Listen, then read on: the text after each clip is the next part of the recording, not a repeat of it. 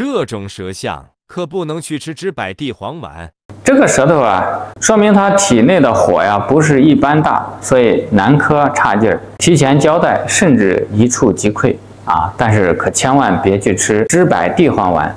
因为这个舌象啊是典型的肝郁克脾了，导致脾虚生湿生痰，阻碍了气机的运行，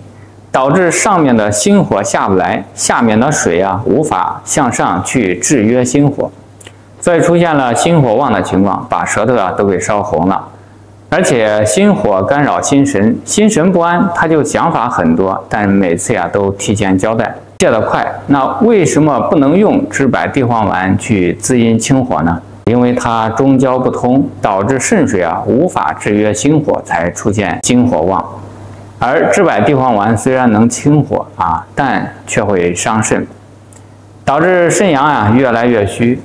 而且脾胃虚弱、肝气郁结的情况下，补药也是补不进去的，只会是越用越严重，越用泻得越快。那针对这种情况，想调整正确的思路啊，应该是先疏通中焦，疏肝健脾、去痰湿，然后再清上温下，